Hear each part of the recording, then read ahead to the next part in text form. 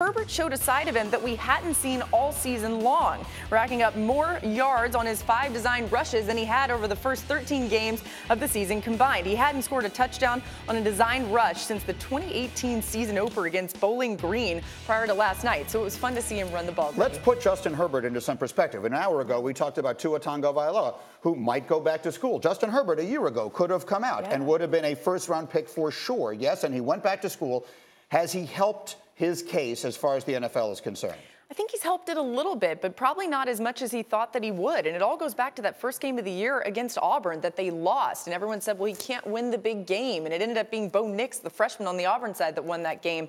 I think last night he might have helped himself a little bit. Just seeing him run the ball was fun. You could see his heart, his toughness. But I think what helps him the most is if Tua Tagovailoa actually does decide to go back to school, Greeny. Shefty, what are you hearing about Herbert as far as the NFL is concerned? Had he come out last year, he would have been a top 10 pick guaranteed. Yeah.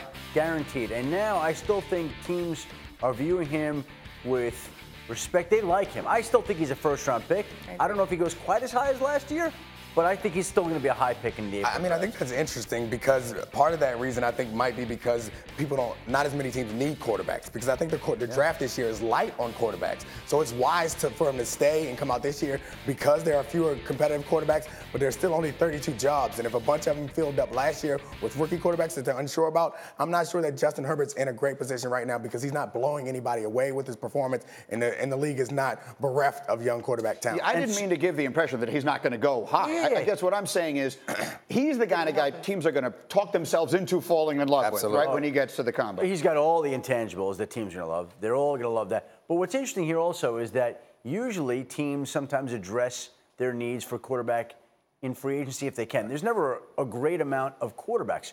But this year, we have a free agent quarterback class that is the most decorated free agent quarterback class ever. I'm not telling any of these guys are leaving. I'm not telling any of these guys are moving on.